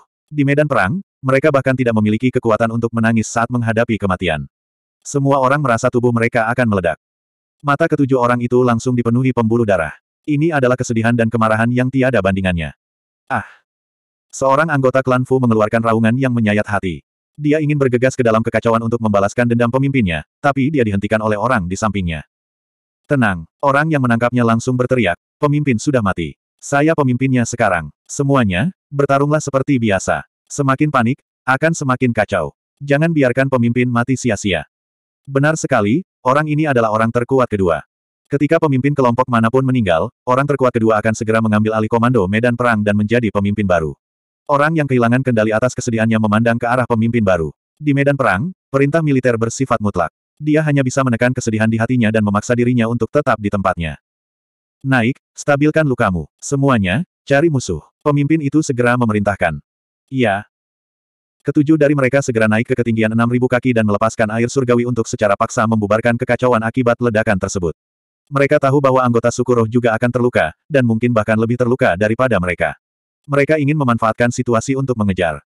Luan memiliki pemikiran yang sama dengan mereka bertujuh. Dia yang baru saja lolos dari ledakan akibat air surgawi, segera berbalik dan menukik ke bawah. Dia secara pribadi telah menyaksikan ledakan empat pusaran air surgawi. Darah iblis di bawah pasti akan lebih terluka, dan dia bisa memanfaatkan kekacauan untuk membunuh mereka. Luan hanya berjarak beberapa ratus kaki dari air surgawi yang jatuh. Dia dengan cepat mengejar air surgawi. Karena tanah telah hancur total akibat ledakan tersebut, para iblis darah tidak benar-benar berdiri di atas tanah. Seluruh tubuh mereka tersapu ke bawah. Dua iblis darah yang sudah meledak sangat kacau. Selain itu, target anggota suku roh terlalu kecil, sehingga menyulitkan Luan untuk menemukan mereka. Namun, dari tiga iblis darah di bawah, hanya dua yang meledak. Masih ada satu yang tidak meledak, dan kebetulan letaknya tidak terlalu jauh di bawah Luan. Setelah air surgawi jatuh ke tubuh iblis darah, punggung iblis darah itu segera terlihat. Tubuh iblis darah itu sudah rusak parah, dan kekuatannya kurang dari 20%. Banyak juga luka besar di sekujur tubuhnya. Meskipun Luan tidak dapat melihat anggota suku roh melalui luka-luka ini, dia tidak sepenuhnya menghancurkan iblis darah dari luar. Jika tidak, kekacauan yang disebabkan oleh ledakan tersebut akan menyebabkan dia kehilangan targetnya. Dia langsung menukik ke dalam luka besar yang sebesar ngarai. Luan dengan cepat turun ke area inti iblis darah. Itu adalah teknik berskala besar yang bisa menyelimuti seseorang. Area pengontrol berbeda dari kebanyakan iblis darah. Bagaimanapun, mengendalikan iblis darah sebesar itu membutuhkan area yang luas untuk terus mengirimkan kekuatan. Sebagai perbandingan, area inti hanya berisi kekuatan murni dan tidak memiliki kekerasan struktural. Setelah memasuki area inti, Luan menyebarkan persepsinya dengan sekuat tenaga. Namun, tidak butuh waktu lama sebelum serangan tiba-tiba datang dari belakangnya. Itu benar, sebuah tinju tiba-tiba keluar dari energi mematikan yang padat dan langsung menuju ke belakang kepala Luan. Kecepatan serangan ini sangat cepat, menandakan bahwa orang ini sangat kuat. Dia begitu kuat sehingga dia mungkin berada di urutan kedua setelah Kapten Sukuroh. Setelah menentukan kekuatan lawannya dalam sekejap, Luan tidak segan-segan mengaktifkan alam Dewa Iblis secara maksimal. Di saat yang sama, dia mencondongkan tubuh ke depan. Karena dia tidak bisa mengelak sepenuhnya, dia memilih untuk melindungi kepalanya. Di saat yang sama, dia berbalik dengan sekuat tenaga dan melemparkan siku kirinya ke arah orang di belakangnya. Untungnya, persepsi Luan sangat kuat. Ia mampu merasakan kehadiran lawan dari jarak jauh. Selain itu, tubuh lawan awalnya dalam keadaan diam. Karena dia ingin menyergap Luan, dia tidak memiliki kemampuan untuk menyerang ke depan. Inilah sebabnya dia mampu menghindari serangan lawan tepat pada waktunya. Namun, serangan Luan tidak mengenai lawannya. Setelah anggota Sukuroh memblokirnya dengan lengan kirinya, dia mengangkat kaki kanannya dan melemparkan lututnya ke arah punggung bawah Luan. Meskipun kekuatan Luan masih kalah dengan anggota Sukuroh, jarak di antara mereka telah berkurang. Apalagi saat keduanya tidak bergerak. Ia tak perlu mengejar sosok lawannya. Yang perlu ia lakukan hanyalah menangkap pukulan dan tendangan lawan. Luan tidak berusaha menghindari serangan lawan karena dia tidak bisa mengelak sama sekali. Namun, dia tidak menghindar begitu saja. Dia berbalik untuk melakukan serangan balik dan membuka cukup ruang untuk dirinya sendiri. Sisi kiri tubuh anggota Sukuro itu benar-benar terbuka. Baik lengan kirinya maupun lengan kanannya tidak dapat dilindungi. Lengan kanan Luan langsung berubah menjadi merah padam saat dia menusuk ke arah sisi anggota Sukuro. Benar sekali, itu sebuah tikaman. Belati emas muncul di tangan kanan Luan. 3548. True Breaking Gold, inilah belati yang diberikan Fu Yu kepada Luan. Luan menggunakan Breaking Daun tapi dia tahu bahwa dengan pertahanan jubah darah, bahkan jika dia bisa menghancurkan jubah darah atau bahkan melukainya, dia tidak bisa melukainya sampai dia tidak bisa melawan, apalagi membunuhnya. Jika dia bisa memukul kepala lawannya, Luan tidak akan menggunakan True Breaking Gold. Tapi sekarang, dia hanya bisa menyerang dada dan rusuk samping lawannya, jadi dia harus menggunakan True Breaking Gold. Luan tidak menginginkan kekuatan serangan Breaking Dawn. Sebaliknya, dia menginginkan kekuatan Breaking Dawn dan kekuatan Imperial Dragon Bone untuk melepaskan serangan terkuatnya. Dia memegang True Breaking Gold dan langsung menuju ke dada orang Spirit Rache. Ini sudah berakhir. Tubuh orang Spirit Rache bergetar dan aura dingin menyebar ke seluruh tubuhnya. Meskipun penglihatannya terhalang dan dia tidak bisa melihat belati Luan, dia bisa merasakannya dengan jelas. Ketajaman True Breaking Gold tak tertandingi. Rasroh berani terlibat dalam pertempuran jarak dekat dengan sebagian besar dari delapan klan kuno, dan mereka selalu bisa mendapatkan keuntungan. Namun, saat menghadapi klan Li Angin Ilahi tertinggi dan klan Jin Li penghancur surga, bahkan Rasroh pun tidak akan memilih untuk terlibat dalam pertempuran jarak dekat. Mereka semua memilih untuk terlibat dalam pertempuran jarak jauh. Ini karena kemampuan pertarungan jarak dekat kedua klan ini terlalu kuat, dan mereka dapat melepaskan atribut mereka secara ekstrim. Belati itu sendiri memiliki ketajaman yang kuat, dan ini sebagian besar berkurang dengan penempaan yang terus-menerus. Ketajaman gagang belati pada dasarnya telah hilang, dan ketajaman bagian utama belati juga telah melemah. Kalau tidak, bahkan Luan tidak akan mampu memegang belati itu. Namun meski begitu, keris tersebut tetap memiliki atribut ketajaman yang kuat. Ditambah dengan kekuatan penuh Luan, orang dari ras roh yang hanya memiliki pertahanan jubah darah tidak bisa menahan sama sekali. Jadi, bang, belati itu menembus jubah darah. Jubah darah sepertinya tidak banyak berpengaruh. Itu secara akurat menembus tulang rusuk dan bergerak dari bawah ke atas. Itu langsung mengenai jantung lawan. Ledakan. Kekuatan Breaking Down meledak pada jubah darah menuju orang Spirit Rache. Sebagian dari kekuatan memasuki tubuh orang Spirit Rache dan masuk ke dalam hatinya. Uh. Orang Spirit Rache segera memuntahkan darah. Dia bisa merasakan jantungnya tertusuk, dan bahkan api berkobar di dalam tubuhnya. Meskipun jangkauan belatinya terbatas, ketajaman logam penghancur surga sudah cukup untuk menghancurkan seluruh jantung dengan paksa, menciptakan luka tajam yang tak terhitung jumlahnya. Tidak mungkin dia bisa bertahan hidup. Tapi, bahkan jika dia tidak bisa bertahan, dia tidak akan langsung mati. Pada saat belati menembus dadanya, serangan lututnya yang berkekuatan penuh mendarat dengan keras di punggung bawah Luan. Segera, pakaian berdarah di punggung bawah Luan meledak, dan suara retakan tulang terdengar dari punggung bawahnya. Dia menghadapi kematian, tapi dia masih memiliki satu kesempatan terakhir. Individu spirit Rache meraih tubuh Luan dengan kedua tangannya dan kemudian memilih untuk meledakkan diri. Dia akan mati, yang membuatnya merasa menyesal, karena dia tidak menyangka Luan tiba-tiba mengeluarkan belati emas penusuk surga. Ini adalah sesuatu yang sama sekali tidak ada dalam intelijen. Tapi di saat yang sama, dia sangat bahagia. Orang yang paling ingin dibunuh oleh ras roh telah mati di tangannya. Dia telah mampu menyelesaikan misi membunuh Luan. Bahkan jika dia mati, itu akan menjadi kematian yang mulia. Dia telah memberikan kontribusi besar pada perlombaan roh, dan kematiannya akan dikenang oleh perlombaan roh. Namun, gerakan Luan bahkan lebih cepat daripada gerakannya. Individu spirit Rache memang telah menangkap Luan, tetapi kedua belah pihak memiliki pakaian berdarah. Hanya pakaian berdarah di punggung bawah Luan yang meledak, tapi sebagian besar pakaian berdarah di tubuhnya masih utuh. Luan segera mengaktifkan jubah pengorbanan darah saat dia menusuk dengan belati. Kecepatannya sangat cepat, dan tidak ada keraguan sama sekali. Faktanya, Luan bahkan tidak memilih untuk menanggalkan pakaiannya yang berlumuran darah sebelum menggunakan jubah pengorbanan darah karena dia takut penundaan sekecil apa pun akan menyebabkan dia mati. Kenyataan membuktikan bahwa keputusan Luan benar. Karena spirit Rache memiliki keyakinan yang sangat kuat, mereka memilih untuk meledakkan diri dengan sangat cepat. Jika Luan memilih untuk menanggalkan pakaian berdarah itu terlebih dahulu, dia akan bereaksi lebih lambat daripada individu spirit Rache. Yang pertama meledakkan dirinya bukanlah pakaiannya yang berlumuran darah, melainkan individu dari ras roh. Kemampuan tempur Luan yang kuat telah menyelamatkannya. Saat dia menusuk dengan belati, dia sudah meramalkan bahwa musuhnya akan meledak sendiri sebelum mati, jadi dia telah menyiapkan jubah pengorbanan darah terlebih dahulu. Dia mengendalikan jubah pengorbanan darah dan memaksanya meledak di depannya, sama sekali mengabaikan kerusakan yang ditimbulkannya. Bahkan jika individu spirit Rache tidak berpikir untuk meledakkan diri, dia bersedia menerima konsekuensinya. Dia selalu merencanakan yang terburuk dan tidak akan memberikan waktu luang apa pun. Dan sebagainya. Ledakan. Jubah pengorbanan darah meledak, segera menghancurkan mereka berdua dan memisahkan mereka lebih dari seribu kaki. Ledakan dahsyat dari jubah pengorbanan darah menyebabkan seluruh tubuh Luan meledak. Bahkan laut pengetahuannya pun sangat terpengaruh. Untungnya, laut pengetahuan dan rasa ilahi miliknya jauh lebih kuat dibandingkan dengan alam budidaya yang sama. Luan tidak jatuh pingsan. Dia terluka parah dan tidak bisa menggunakan kekuatannya untuk melakukan apa pun, tapi dia tidak berhenti. Sebaliknya, dia dengan paksa mengaktifkan cincin spasialnya. Kemudian, gemuruh. Ledakan yang lebih besar pun terjadi. Individu ras roh yang terlempar ke belakang seribu kaki menatap tajam ke arah Luan yang jauh sebelum dia mati.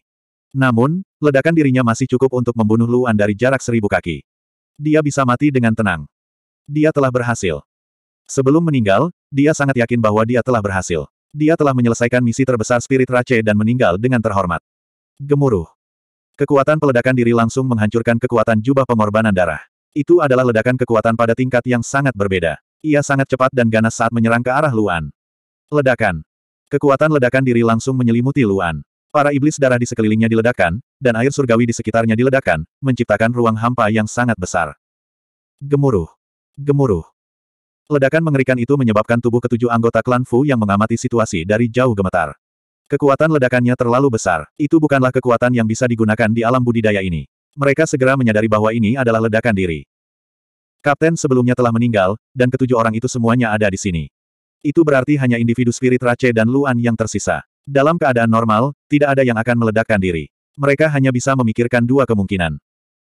Kemungkinan pertama adalah Kapten Astral tidak mati karena ledakan diri, tapi dia terluka parah dan tidak bisa bertahan. Sebelum meninggal, dia memilih untuk bertaruh dan meledakkan diri untuk melakukan upaya terakhir.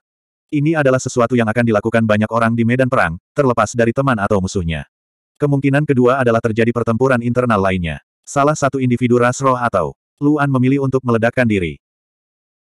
Karena ledakan dari jurang delapan naga jelas tidak cukup untuk memaksa individu ras roh lainnya meledakkan diri, hanya ada dua kemungkinan ini.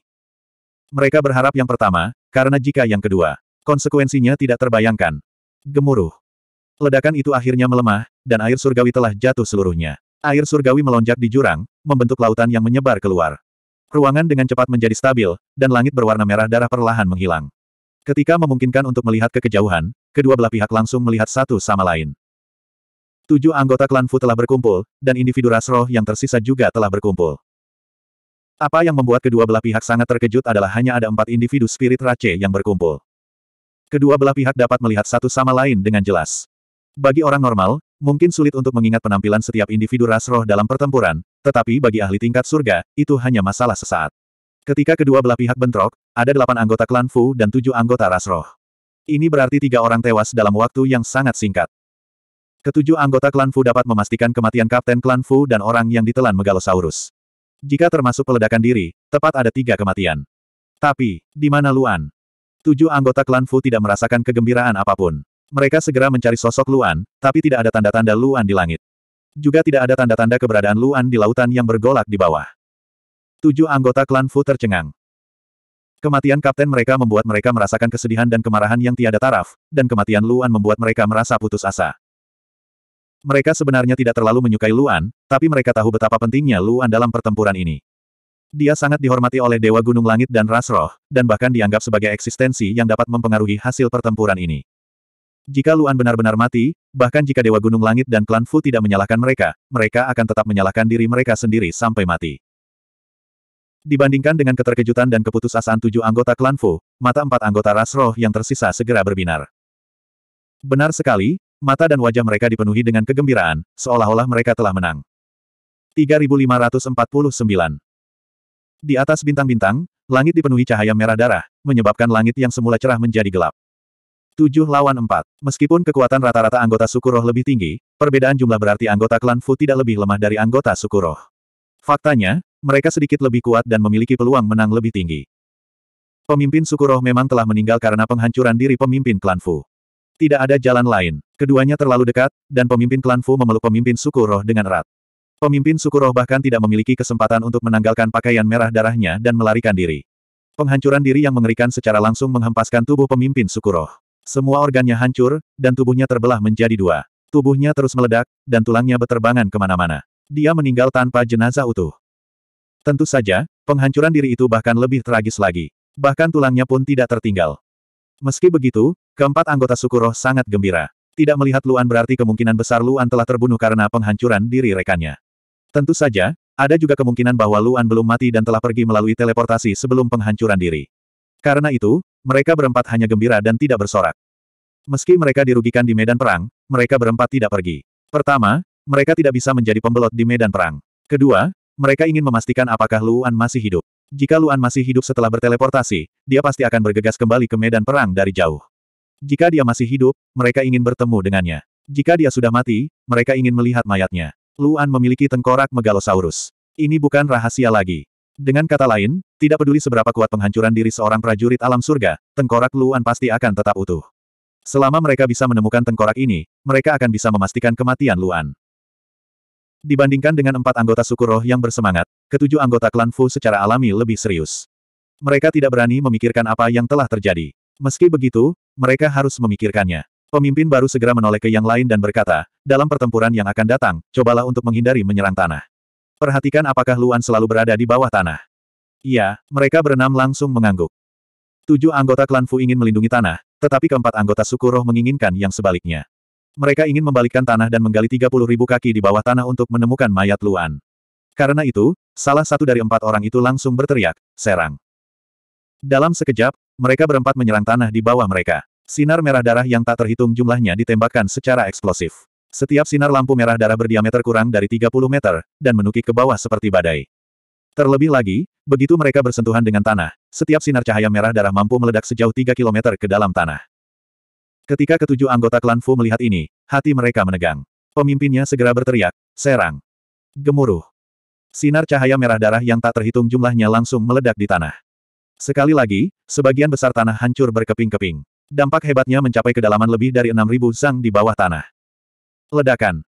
Gelombang air surgawi mengalir turun dari langit, menutupi separuh langit. Seolah-olah lautan telah muncul di langit dan mengalir menuju empat anggota suku roh. Ketika keempat orang ras roh melihat ini, mereka tentu saja tidak bisa diam saja di tempat mereka berada. Mereka segera terbang dan berpencar menjadi dua kelompok. Kecepatan mereka masih di atas astral, dan mereka masih memegang inisiatif. Mudah bagi mereka untuk mengejar ketujuh anggota klan Fu, namun sulit bagi anggota klan Fu untuk mengejar mereka. Dengan kata lain, mereka bisa pergi kapan saja mereka mau. Gemuruh. Gemuruh. Pertempuran di langit terus berlanjut. Dalam situasi di mana Luan tidak terlibat, dan kedua belah pihak berimbang, mustahil untuk menentukan hasil pertempuran dalam waktu singkat. Kemungkinan besar pertarungan hanya akan berakhir ketika kedua belah pihak kelelahan. Saat ini, di jurang yang jauh dari medan perang. Gemuruh. Gelombang air surgawi terus melonjak hingga ke kejauhan. Bagaimanapun, kekuatan medan perang terus-menerus dibentuk dan dikirim keluar. Air surgawi yang awalnya dikeluarkan pasti akan terus mengalir keluar. Air surgawi sangat luas, mencapai ketinggian lebih dari 2000 sang. Itu seperti tsunami mengejutkan yang melanda luar. Ke mana pun ia melewatinya, tanahnya hancur. Di tengah ombak dahsyat itu, ada sesosok tubuh kecil. Tubuh rusak berlumuran darah. Benar, itu adalah Luan. Kulit dan daging di permukaan tubuhnya telah hilang sama sekali. Otot-otot dalam dan organ-organ dalamnya juga rusak parah. Selain itu, dia benar-benar kehilangan kesadaran dan kemampuan mengendalikan dirinya sendiri. Dia hanya bisa terjatuh seiring dengan gelombang dahsyat, seperti dedaunan pohon di tengah badai yang dahsyat. Biasanya, Peledakan diri dari anggota ras astral seharusnya cukup untuk membunuh Luan. Bahkan jika tulang naga kekaisarannya dapat menahannya, daging dan darahnya tidak dapat menahannya, dan dia pasti akan mati. Pada saat itu, Luan tidak punya waktu untuk menggunakan teleportasi spasial, dan pertahanan apa pun yang dia pasang tidak akan mampu menahan kekuatan peledakan diri anggota ras astral. Bahkan es hitamnya pun akan hancur dalam sekejap. Satu-satunya alasan Luan belum sepenuhnya menghancurkan darah dan dagingnya adalah karena dia tidak menggunakan kekuatannya sendiri. Sebaliknya, dia menggunakan peralatan pertahanannya. Benar, cincin spasial Luan memiliki peralatan pertahanan. Saat bertarung melawan astral, Luan paling takut akan ledakan diri mereka.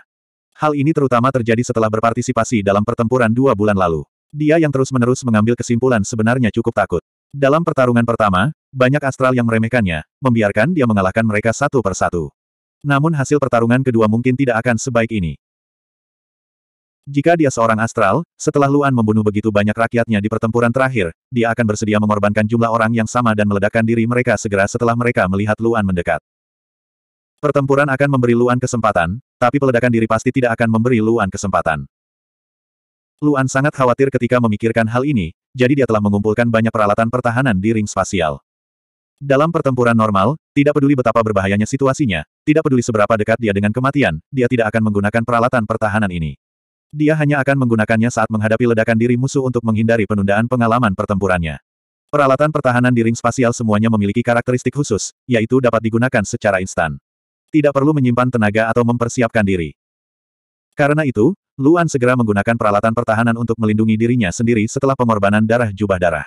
Peralatan pertahanannya memiliki kualitas tertinggi di alam langit, jadi secara alami mampu menahan ledakan diri musuh.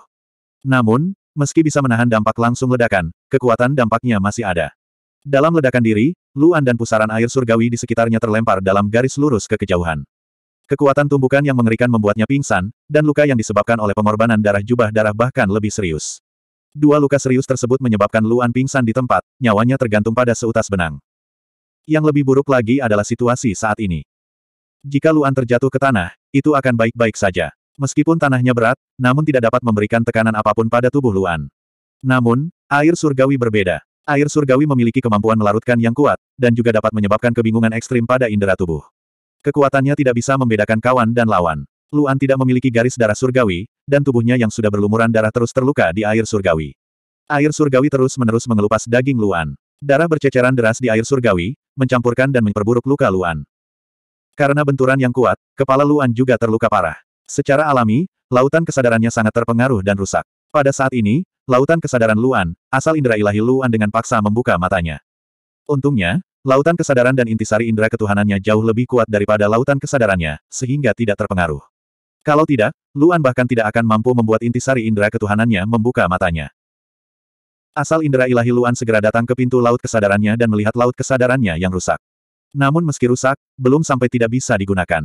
Itu masih bisa digunakan. Dia segera melepaskan rasa ilahi ke dalam lautan kesadarannya. Yang perlu dia lakukan sekarang adalah merasakan kondisi tubuhnya. Bahkan jika dia bisa memperbaiki lautan kesadarannya dalam waktu yang sangat singkat, dia tetap tidak melakukannya. Karena momen apa pun sekarang berakibat fatal baginya. Dia takut kehidupan tubuh fisiknya akan terputus tanpa dia sadari. Bahkan jika dia memperbaiki lautan kesadarannya, itu akan sia-sia. Dia akan tetap mati. Dia melepaskan rasa ilahi dengan sekuat tenaga. Di lautan kesadaran yang rusak parah, rasa ilahinya terus-menerus bocor. Mustahil untuk menyimpan Divine Sense, jadi Luan harus melepaskan Divine Sense beberapa kali lebih banyak dari biasanya untuk dapat membangunkan tubuhnya. Akhirnya, bang! Kenyataannya, mata Luan hampir tidak terbuka. Sangat sulit baginya untuk membuka matanya. Namun, dia bahkan tidak berpikir untuk membuka matanya karena itu tidak ada artinya. Ia bahkan tidak merasakan kondisi tubuhnya. Sebaliknya, dia menggunakan kekuatan terakhirnya dan dengan paksa menggerakkan tulang naga kekaisaran untuk mengangkat tangan kanannya. Meskipun air surgawi di sekitarnya bergejolak, Luan adalah elit tingkat surga. Kekuatan yang bergejolak tidak dapat menghentikannya untuk mengangkat tangan dan memasukkan jari telunjuk kanannya ke dalam mulut. Kemudian, cincin spasial bersinar dengan cahaya biru, dan pil obat langsung masuk ke mulutnya. Kemudian, seberkas cahaya berwarna pelangi muncul di mulut Luan dan dengan cepat menyebar ke seluruh tubuhnya. Bang! Tubuh Luan kehilangan kekuatannya lagi dan mengalami koma. 3550. Karena laut spiritualnya rusak parah, indera ilahi miliknya bocor terlalu cepat. Luan tidak bisa terjaga lama-lama. Dia telah mencoba yang terbaik untuk mengkonsumsi ramuan itu sekarang. Segera, indera surgawinya membuka matanya lagi. Meski jantungnya hampir berhenti berdetak, tubuhnya belum sepenuhnya kehilangan vitalitasnya. Jika Immortal Elixir tidak bisa menyelamatkannya, dia tidak bisa menyelamatkan dirinya sendiri bahkan jika dia sudah bangun sepenuhnya.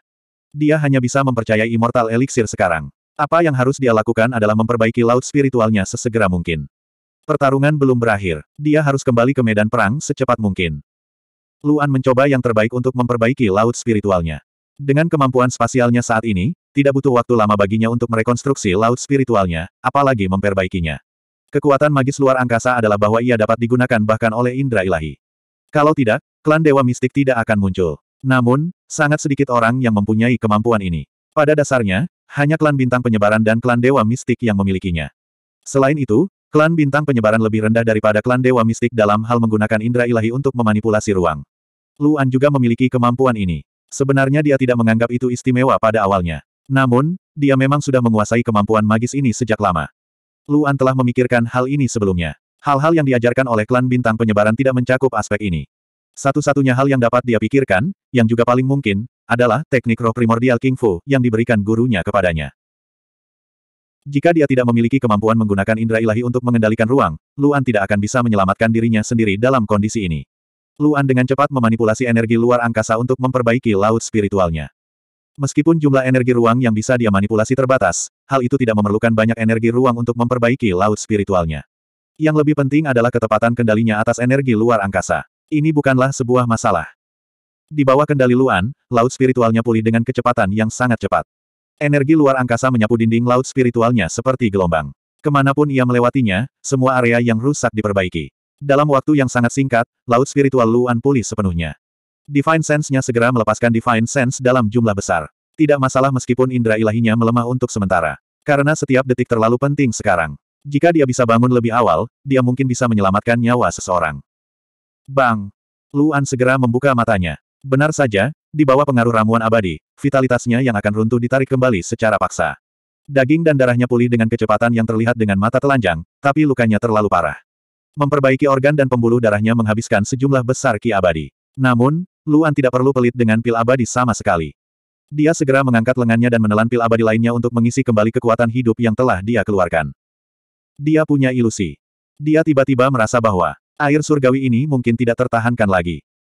Namun kenyataannya, air surgawi memang membuatnya merasakan banyak tekanan. Perasaannya menjadi kacau. Pada saat yang sama, air surgawi memiliki kelarutan yang besar dalam tubuhnya. Itu bahkan melarutkan kekuatan hidup dari pil abadi di tubuhnya, sangat mengurangi kemampuan penyembuhannya. Luan tidak bisa tinggal di Tiansui lebih lama lagi, tapi dia juga tidak berani terbang keluar dari Tiansui. Dia tidak tahu apa yang sedang terjadi di luar. Jika dia ketahuan, dia tidak akan bisa bertarung dalam kondisinya saat ini. Karena itu, dia segera menyelam sekuat tenaga ke dalam air surgawi hingga dia mencapai dasar air surgawi.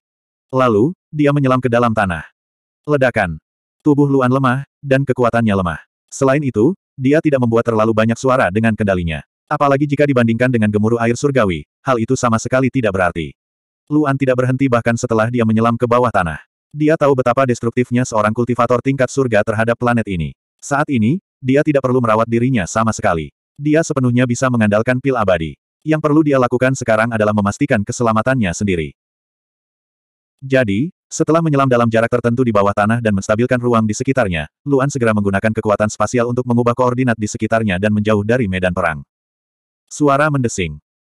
Sangat jauh dari medan perang, hampir di sisi lain planet ini, sosok Luan langsung muncul di permukaan planet. Bang! Luan tidak berdiri teguh. Kakinya lemas dan dia berlutut di tanah. Dia terengah-engah, dan akhirnya tidak tahan lagi dan jatuh ke tanah. Haha! Luan terengah-engah. Hanya menggunakan sedikit kekuatan spasial untuk bergerak membuatnya sangat lelah.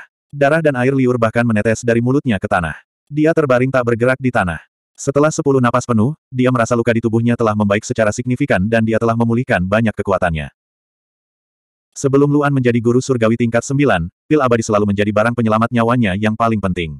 Itu telah menyelamatkan hidupnya berkali-kali. Sebelum dia menjadi guru surgawi tingkat sembilan, kekuatan pil abadi terlalu besar baginya. Dengan demikian, efeknya berlipat ganda dan sering kali dapat menyembuhkan luka-lukanya dalam sekejap.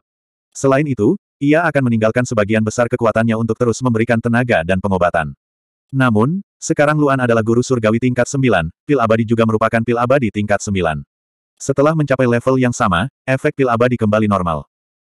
Meskipun masih lebih kuat daripada pil penyembuhan lainnya dan dapat menyelamatkan nyawa dalam beberapa tarikan napas dan bahkan memulihkan sejumlah kekuatan tertentu, bagi seorang kultivator tingkat surga, waktu beberapa tarikan napas sangatlah lama. Beberapa saat, jika bukan karena fakta bahwa kedua belah pihak memilih untuk bertarung dalam jarak dekat, akan cukup bagi seorang kultivator tingkat surga untuk bertukar ribuan pukulan, atau bahkan lebih. Setelah sepuluh napas waktu, kedua pil abadi itu akhirnya menyembuhkan lebih dari 70% luka dalam Luan. Di saat yang sama, kulit dan daging di permukaan tubuhnya juga sembuh total. Luan bukan lagi kumpulan darah dan daging, tetapi telah mendapatkan kembali wujud manusianya.